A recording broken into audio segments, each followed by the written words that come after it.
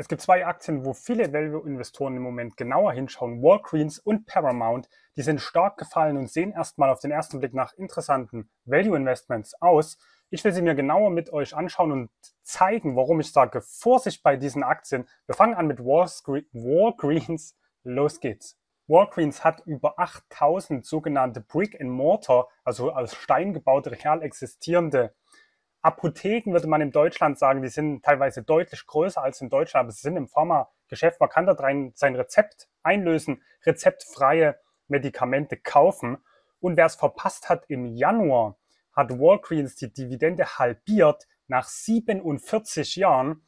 Und das zeigt einfach wieder, und das werden wir gleich sehen, wenn der Cashflow nicht stimmt, wenn die Ergebnisse nicht stimmen, dann ist jeder Dividendenaristokrat irgendwann fällig, um die Dividende zu kürzen oder zu streichen. Deswegen schaut bei der Dividende nicht nur auf die Vergangenheit, sondern wie profitabel ist das Unternehmen und wie können Sie die Dividende bezahlen. Wir können jetzt hier mal reinschauen und da können wir das gut sehen in der Dividend History hier bei Seeking Alpha. Wenn ihr Seeking Alpha Premium euch holen wollt, habe ich 20% Link, 21% Link in der Videobeschreibung. Sie sind hier immer schön hochgegangen, vor allen Dingen so ab den Anfang der 2000er mit die Dividende, mit der Dividende, was ist heute los? Damals gab es 4 Cent und zuletzt 48 Cent, fast verzehnfacht und jetzt haben sie gekürzt auf 25 Cent. Es wird jetzt davon ausgegangen, so steht es zumindest hier bei Seeking Alpha, dass die Dividende in nächster Zeit wieder steigen wird und dann 2026 bei 7% liegen wird. Natürlich alles auf Basis des aktuellen Kurses. Und an sich sieht Walgreens erstmal interessant aus. Vom Chart her sehen wir, sie kommen im 10-Jahres-Hoch von 90 US-Dollar, sind jetzt bei 18 US-Dollar. Das ist erstmal für jeden Value-Investor interessant. Und damit haben wir hier Kurse wie 1998. 1998. Und das Geschäft hat sich seitdem entwickelt. Wir sehen hier schon ein Problem. Ihr seht kaum die grünen Balken. Hier ist es jetzt zuletzt übrigens ein roter Balken, 3 Milliarden Verlust im Jahr. Das heißt, sie haben eine geringe Gewinnmarge zum Umsatz, was natürlich auch bedeutet, dass trotz hohen Umsatz dort sehr schnell, wenn Kosten auftreten, der Gewinn negativ oder null werden kann. Das Umsatzwachstum ist hier langsamer als das Wachstum des Fremdkapitals. Das ist auch kein wirklich gutes Zeichen. Am Ende bei Dividendenzahlern und überhaupt bei der Aktienbewertung ist der Cashflow und vor allen Dingen der Free Cashflow extrem wichtig. Wir können hier sehen in lila die Dividendenzahlungen, die lagen jetzt hier im letzten Geschäftsjahr noch bei 1,7 Milliarden. Wir haben ein Market Cap von 15 Milliarden, das wäre eine Dividende von 10 Prozent. Sie haben es aber jetzt gekürzt. Problem sind die Free Cash Flows. 2019, 20, 21 lagen die noch, ungefähr noch bei 4 Milliarden. Sehr gut, gut bis sehr gut zur heutigen Market Cap von 15 Milliarden. Aber dann gingen die Probleme hier schon los im Geschäftsjahr 2022, 2 Milliarden Free Cash Flow und im letzten nur 141 Millionen. Das war wahrscheinlich auch der Grund, um dann die Dividende zu halbieren. Eigentlich hätten sie sogar die Dividende komplett streichen müssen, dann wäre der Kurs wahrscheinlich stark abgestürzt. Es gab hier Aktienrückkäufe, zum Beispiel 2018 von 7% aller ausstehenden Aktien, 2019 von 6% aller ausstehenden Aktien. Das ist nicht schlecht, aber schauen wir hier auf die Kurse 2019 und 20 und äh, gehen wir noch ein bisschen hier zurück. Auch die Jahre vorher, da waren sie über 60 US-Dollar. Da wurden Aktien zurückgekauft, jetzt wo sie 18 Dollar kosten. Wird im Moment nicht zurückgekauft. Das ist auch nicht wirklich ein gutes Management.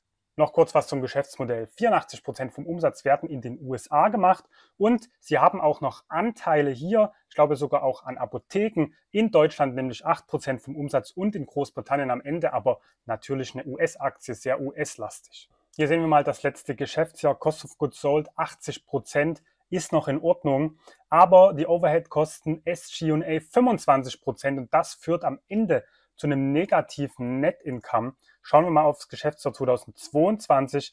Da waren die Costs of Goods Sold geringer, auch SG&A waren geringer. Dann konnten sie hier Net Income von 3,3 Prozent zum Umsatz machen.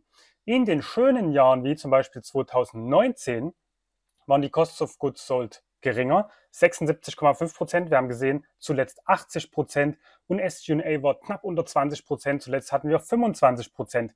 Das heißt, es scheint jetzt hier so, als ob Walgreens zuletzt vor allen Dingen ein Kostenproblem hat. Schauen wir hier auf den Aufriss der Cashflows. Sieht ein bisschen kompliziert aus, aber ich werde es versuchen, hier ein bisschen aufzulösen. Im letzten Geschäftsjahr war der Free Cash Flow wirklich dünn. Das waren die 141 Millionen. Das lag auch daran, dass der Operating Cash Inflow hier relativ gering war und eben vor allen Dingen die Cash from Operations mit 2,3 Milliarden zu gering. Es mussten dann noch äh, Cashflow for Investing ausgegeben werden und da hat es nicht gereicht. Schauen wir mal ins Jahr 2022. Da war der Cashflow from Operations etwas besser. Da hatten wir auch einen Free Cashflow von 2,2 Milliarden. Hier ist eben das Problem, dass der Cashflow from Operations zuletzt bei Walgreens nicht sehr hoch war. 2021 sah das hier noch deutlich besser aus. Da haben sie aber auch Business hier anscheinend verkauft und damit Cash eingenommen. Warum sage ich also hier Vorsicht bei Walgreens? Weil die Dividende jetzt schon halbiert wurde. Das ist eigentlich gut. Das ist natürlich schon mit im Kurs drin. Aber wenn hier die Free Cashflow Entwicklung so weitergeht, kann ich mir nicht vorstellen, dass sie die Dividenden langsam wieder erhöhen können. Wir können jetzt auch hier sehen, zum Beispiel im letzten Quartal Februar 2024 Free Cashflow minus eine Milliarde. Das tut dann wirklich weh. Und wenn es dort so weitergeht, dann ist hier auch die Dividende weiterhin in Gefahr. Und ich sehe Walgreens hier nicht als wirklich attraktives Investment im Moment, weil eben die Umsätze sehr langsam steigen, die Schulden dafür umso schneller und auch kein Gewinnwachstum sichtbar ist. Natürlich ist es immer möglich, dass sich das alles dreht, dass sie irgendwann wieder einen Jahresgewinn von 5 Milliarden machen. Das wäre dann ein KGV von 3 zum aktuellen Kurs. Deswegen ist das jetzt nur meine aktuelle Einschätzung. Das ist ja natürlich keine Anlageberatung. Die zweite Aktie, bei der Vorsicht geboten ist, ist Paramount Global, ehemals Viacom CBS. Viacom CBS hatte ich selbst im Portfolio. Es gab dann ein Short Squeeze, das lief wirklich gut für mich, ist aber schon ein bisschen her. Viacom und CBS sind zusammengekommen im Dezember 2019, haben sich später umbenannt in Paramount Global. Das heißt, die Geschäftszahlen, wenn wir die jetzt angucken bei Guru Focus, sind erst ab dem Geschäftsjahr 2020 wirklich vergleichbar. Zu Paramount, die sind auch Content Creator, gehört das Filmstudio Paramount Pictures, die CBS Entertainment Group und sie haben 12,5 Prozent ähm, äh, Network, Broadcasting Network DCV, was zum Rest übrigens zu Nexter Media gehört. Nexter Media habe ich ja im Portfolio. Also bei Paramount Global ist auch Vorsicht geboten. Und wir schauen jetzt mal warum. Es sieht erstmal interessant aus, weil der Kurs ist jetzt bei 10 Dollar und 50 Cent. Hier im Corona-Tief waren sie ungefähr auf dem gleichen Niveau. Sie sind nur 3% über dem Low. Und hier seht ihr diesen Short Squeeze und da konnte ich ungefähr verdoppeln. Das war natürlich Glück, aber es äh, hätte sich vielleicht auch so gut entwickelt. Seitdem ist die Aktie von 40 Dollar hier eben wieder stark gefallen. Wir haben eine Market Cap von 7 Milliarden. Wie gesagt, die Vergangenheitszahlen sind hier nicht so wirklich relevant. Wir können sehen, dass im Geschäftsjahr 22 der Gewinn bei einer Milliarde lag, zuletzt 600 Millionen Verlust. Bei einem Gewinn von einer Milliarde hätten wir ein KGV von 7, jetzt haben wir ein negatives KGV.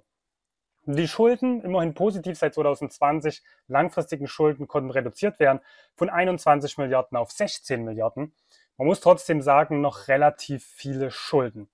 Und ich werde euch in einem der nächsten Videos interessante Aktien zeigen, die man jetzt vielleicht kaufen kann. Da ist auch ein Medienunternehmen dabei mit vielen Schulden. Und wie ist das zu bewerten? Viele Schulden sind an sich nicht ein Riesenproblem für mich.